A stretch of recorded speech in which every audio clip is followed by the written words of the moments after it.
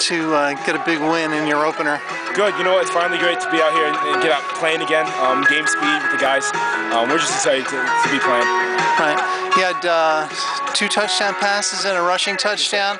Um, talk a little bit about the uh, the two touchdown catches. The first one looked like you were wide open. Yeah. Um, and you know, quarterback MJ did a great job putting the ball on, the, on uh, where it has to be.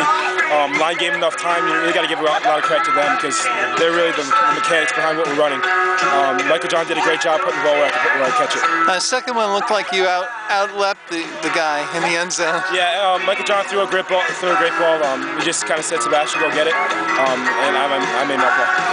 Were you happy with both phases of the game for your yeah, team? you know what though? I don't think you could ever be happy. Uh, we're always trying to get better, so we're looking for the nitpicky things and the small things that are going to make us better. In the beginning of the game, they, they came out and completed a bunch of short passes, but you guys started to shut that down pretty quickly. Yeah, we adjusted to it quick. Our, our defensive backs did a great job coming up and making plays. Um, they really, they were really the, the heart and soul of the defense today. Great.